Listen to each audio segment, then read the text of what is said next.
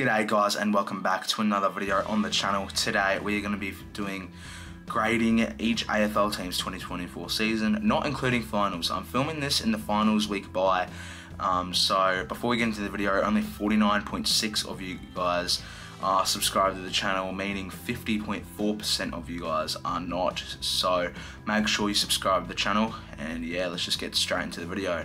So starting off the Adelaide Crows, they had a really mediocre season to be honest. Not really too good for standards of Adelaide after especially coming off a chance to win finals last year. Like who would have known? Who would have thought that Adelaide would have fallen from ninth, from ninth or tenth last year all the way down towards 15th in the bottom four. They just played, in my opinion, a miserable, miserable brand of brand of footy, to be honest. Just missing out on um, 14th by about 10 points, so not really too much of a contest between Adelaide and the rest of the pack. West Coast was a, the closest one to them, to be honest, with 20 points, 20 points total. But Adelaide, they still had a pretty good season. Tex Walker had a really big name for himself, to be honest. Um, ben Keays as well.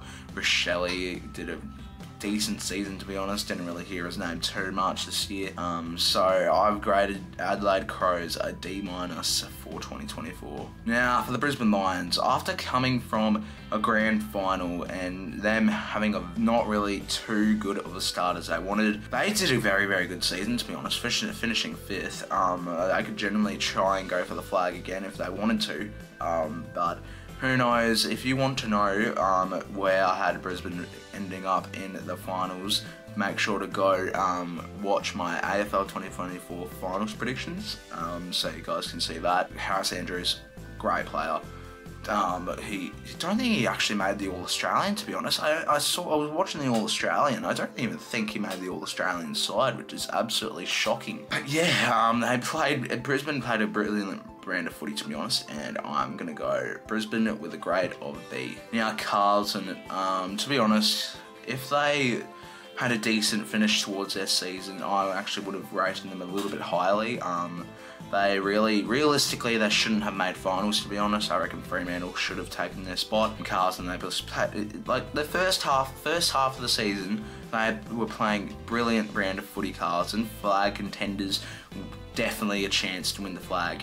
And then in the second half of the year, they just fell off miserably, um, not really looking like a chance to make the eight at some points, and not really looking like a chance to make the flag at the moment. I reckon they're going to go out in um, at least straight away in the semi. So because of that reason, to be honest, they, since they had a good start of the season, I'm going to give Carlton a grade of C. Now moving on to Collingwood. For Collingwood, after they were the grand, won the grand final, they were the premiers, they were expected to have a premiership hangover. And to be honest, it wasn't as bad as I thought. They still really, realistically, they should have competed well with the other sides. They just didn't really, didn't really. Um, if they were able to compete with other sides, they would have finished in the eight again.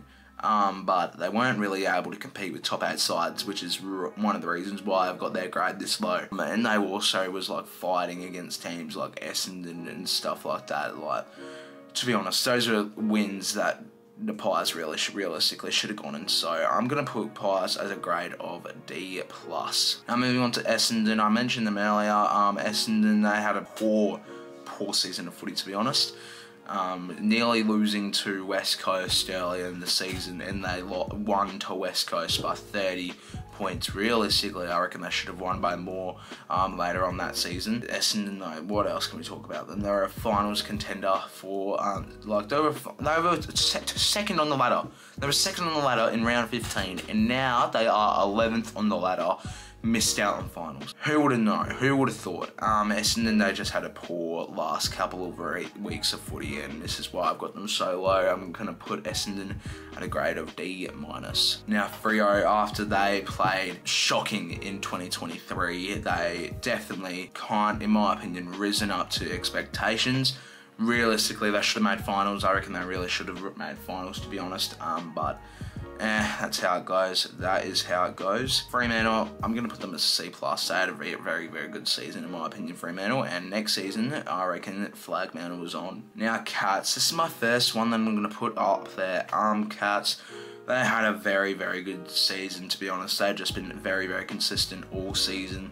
Um, they they got the wins that they needed. They played very, very just great footy for all 24 rounds. And that's why I got them so high. They definitely had a very, very strong ending to the season, obviously winning to West Coast by 93 points. So yeah, that's one of the reasons why I got Geelong this high. So I've got go, I've got Geelong at a grade of A. Gold Coast Suns are a C minus for me. Gold if the Gold Coast one more away games, they would have made finals and they would have got a grade a little bit higher. They just were, they were just allergic to winning finals. They didn't win a, I mean, not winning finals, winning away games.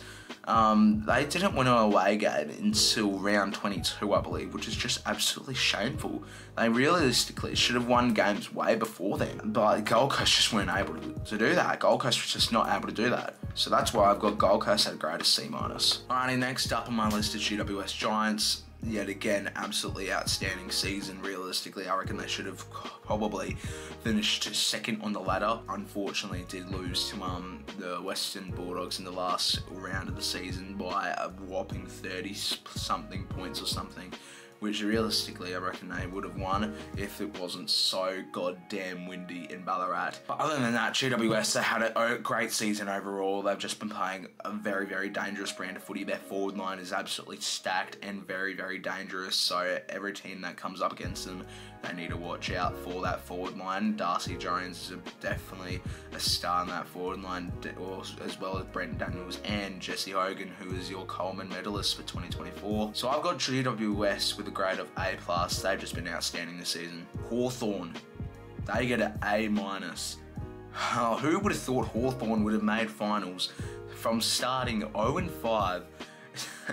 like Hawthorn, they had an outstanding season, winning 14 games out of the 23 they've played. They just played absolutely great Hawthorn, and honestly, I'm actually kind of happy that Hawthorn haven't got into the final series after that very, very bad start. So that's why I've got Hawthorn as an A minus. Melbourne, I've got one that's actually very, very low. Melbourne were expected to play like way better brand of footy this season.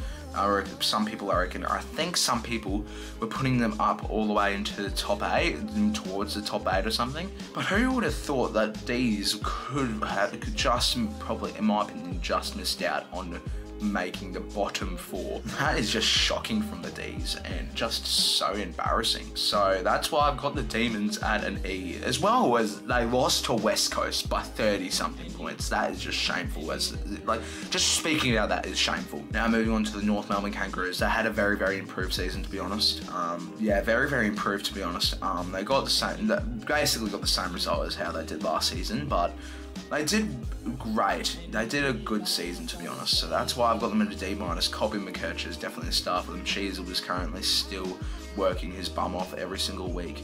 Um, so yeah, Roos, they're expected to rise in the next couple of years. Moving on to Port Adelaide. Port Adelaide, they've had a very, very good season. Yet again, second on the ladder, close to being minor premiers. Unfortunately, they were just one win off from being the minor premiers. They've just had lots and lots of stars. They've just had lots and lots of stars. Zach Butters, an absolute star. Connor Rozee, absolute star. Jordon Sweet has stepped up in the last couple, last half of the season, to be honest.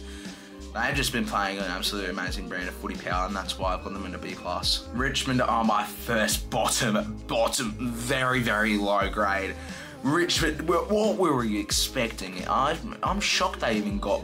I'm shocked they got wins. They got two wins in 2024, and I'm shocked about that. Richmond, realistically, in my opinion, they should have won zero games this season. They played absolutely bad footy. They've just been playing bad footy all year, to be honest um, and that's why I've got them at F. They, but they, I do give them that. I do give them. I will give it to them. They have had injuries, bad injuries, but still, realistically, they should be like their VFL side should have stars. Like they should still have like very, very underrated players on their list, but turns out their players on their VFL team are just absolutely horrible. As we just saw, as we saw in a couple of rounds in the season, they just played absolutely bad.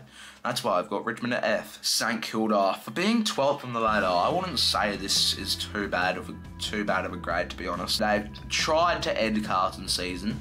Um, but unfortunately they didn't succeed with that. But St Kilda, they've just had a very great season overall, beating the minor premiers by two points um, early in the season, which is very, very good. Yeah, to be honest, St Kilda really do deserve this grade. That's why I've graded them as a C minus. They just played, in my opinion, medium range, that's a very, very good game. That's a very, very good year footy for St Kilda. Now for Sydney, for my, for being the minor premiers, you would think I'd put them at A plus, but Sydney did have probably a little bit of downfall moments um, during the year. Lost to Port Adelaide by 112 points and we lose. Then I lost to Sin, goddamn Richmond at the start of the year, which that realistically they should have won that. They just had a little bit of poor spots during the year. While GWS, they've, in my opinion, they've, the GWS have been consistent all year. Sydney, I'm gonna put them at A. I'm gonna put Sydney at A. They had a decent season to be honest, and I reckon they're gonna do even better in 2025. Now moving on to the West Coast Eagles. West Coast Eagles, they've definitely improved.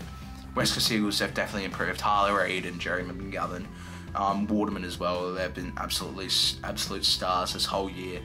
Unfortunately, Tom Barrass is leaving the club at the end of the season. Um, at, like, at least that's what the rumours have been saying. So that's unfortunate for Barrass because um, generally I do see this West Coast side going far in the next couple of years. Um, West Coast, so they're on for a rise at the moment. They've already improved heaps, in my opinion, and I reckon in the next couple of years they're going to improve even more and probably in the next six to seven years they're going to be back in finals. So that's why I've got West Coast at a D minus. Now final team on this list is the Western Bulldogs. I've got them at a B plus for being a finals team, finishing sixth on the ladder. They've did, had a, played a decent game of decent brand of footy.